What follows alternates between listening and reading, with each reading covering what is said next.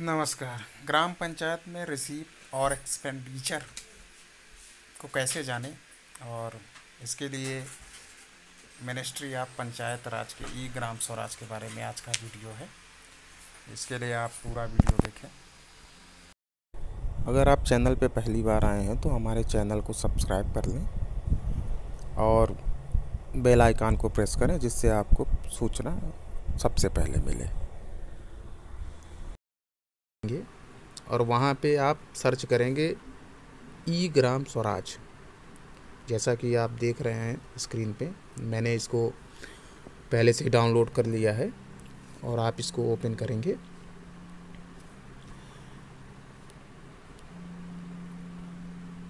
जब आप इसको ओपन करेंगे तो इस तरह से आपका ओपन होगा और यहाँ पे आप भाषा चेंज कर सकते हैं और इसका डिफ़ॉल्ट लैंग्वेज इंग्लिश है। जैसे मैंने इसको हिंदी कर दिया है, मैं इसको दोबारा इंग्लिश में कर दे रहा हूँ। और इसके लिए आपको सबसे पहले अपना स्टेट सेलेक्ट करना है। तो मैंने अपना स्टेट उत्तर प्रदेश सेलेक्ट किया और यहाँ पे ज़िला पंचायत ज़िला पंचायत में हम प्रयागराज को सेलेक्ट करेंगे। प्रयागराज। प्रयागराज के बाद आप क्षेत्र पंचायत सेलेक्ट करेंगे। तो मैंने यहाँ पे क्षेत्र पंचायत मेजा किया और इसके बाद ग्राम पंचायत। ग्राम पंचायत में आपका जो भी ग्राम पंचायत हो, जैसे मैं यहाँ पे कोई एक ग्राम पंचायत ले रहा हूँ। मान लीजिए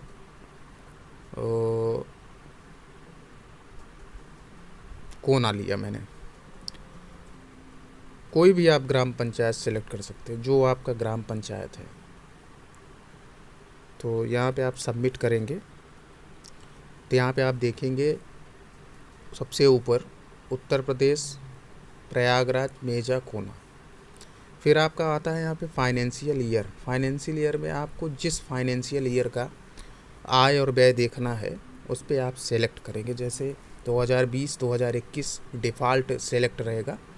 तो जैसे हम, आप, हम 2019-2020 सेलेक्ट करेंगे और यहाँ पे आपको तीन मिलेंगे। ईआर डिटेल अप्रूव एक्टिविटी और फाइनेंशियल प्रोग्रेस ईआर डिटेल में क्या होता है? चूँकि अभी अपडेट नहीं है, लेकिन इसमें ग्राम पंचायत के सदस्यों के बारे में रहता है और ये फ्यूचर में अपडेट हो जाएगा। और इसके बाद अप्रूव एक्टिविटी है, ये भी अभी अपडेट नहीं है। और इसके अलावा फाइनेंशियल प्रोग्रेस आप फाइनेंशियल प्रोग्रेस में जब सेलेक्ट करेंगे तो यहाँ पे मैंने 2019 और 20 सेलेक्ट किया है। तो आप यहाँ पे देखेंगे, सबसे ऊपर ग्राम पंचायत के बारे में है लोकल बॉडी कोड है लोकल बॉडी डिटेल है रिसीव एक्सपेंडिचर यहाँ पे आप देखेंगे,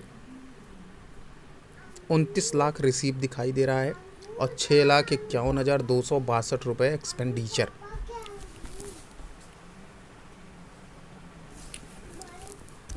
एक्सपेंडिचर छः लाख इक्यावन हज़ार दिखा रहा है। इसके नीचे आपका लिस्ट ऑफ़ स्कीम जैसे second state finance commission fourth state finance commission third state finance commission Swachh Bharat mission, इसके बाद fourteen finance commission own resource twelfth finance इसी तरह सो सो अगर आप इसमें देखेंगे फोर्थ स्टेट फाइनेंस कमीशन, यहाँ पे आप देखेंगे दस लाख रुपए रिसीप अमाउंट है और यहाँ खर्च हुआ है सतहत्तर हज़ार सात सौ पचहत्तर। अब सतहत्तर हज़ार पाँच सौ, सात सौ पचहत्तर कहाँ खर्च हुआ है, इसकी जानकारी आप यहाँ पे क्लिक करेंगे तो यहाँ पे सारे डिटेल हैं और जितने भी डिटेल हैं इसमें बाउचर नंबर के हिसाब से होता है। जैसे मान लीजिए पहला बाउचर नंबर इसमें दिखा रहा है। और इसमें खर्च हुआ है छाछठ हज़ार पाँच सौ रुपये तो आप इसको डिटेल देख सकते हैं। आप डिटेल पे क्लिक करेंगे। जैसे आप डिटेल पे क्लिक करेंगे, आपको पता चलेगा प्रधान मानदेय।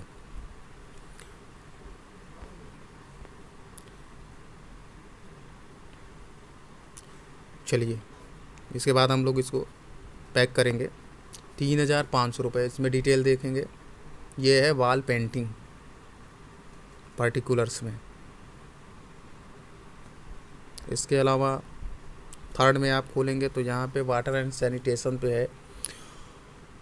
प्रेम, आप पर्टिकुलर पढ़ेंगे, वहाँ पे आपको पता चल जाएगा कि ये किस कार्य के लिए पैसा खर्च हुआ है और उसके बाद वर्क नेम जैसे ये नाली बनाने के लिए है, पुलिया तक नाली। इसी तरह आप बैक करेंगे और यहाँ पे आप देख रहे हैं, यहाँ पे पाँच लाख तिहत्तर हज़ार खर्च हुए हैं तो आप यहाँ पे क्लिक करेंगे। और यहाँ पे डिटेल एक लाख सत्रह हज़ार छः सौ तैंतीस रुपये है तो आप इसको क्लिक करेंगे तो यहाँ पे आप देखेंगे payment for primary school tiles material back करेंगे।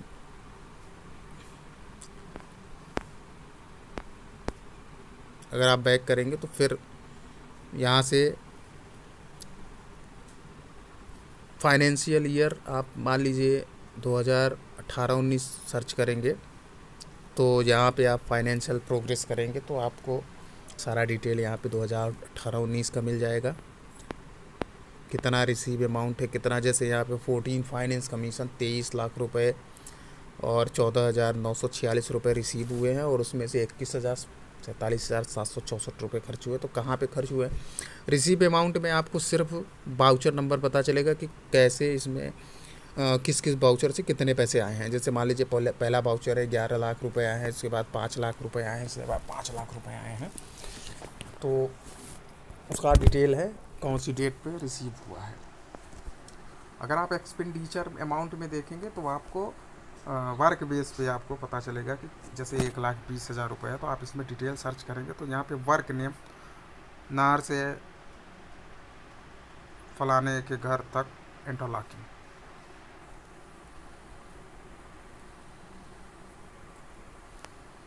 इस तरह से आप किसी भी ग्राम सभा का आ, कितना व्यय हुआ है और कितना फाइनेंशियल ईयर में अमाउंट रिसीव हुआ है आप देख सकते हैं।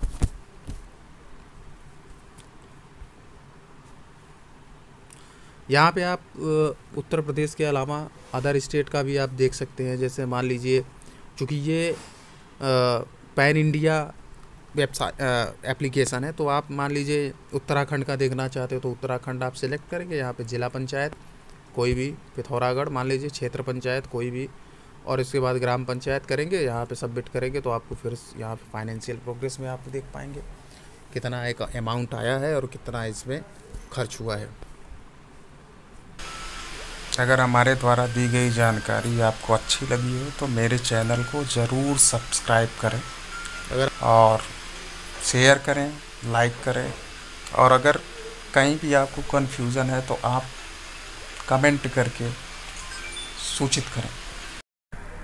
जिससे अगले वीडियो में आपको उसकी जानकारी दी जा सके और और ग्राम पंचायत से या किसी योजना के बारे में आप जानकारी चाहते हैं तो ज़रूर कमेंट करें। धन्यवाद।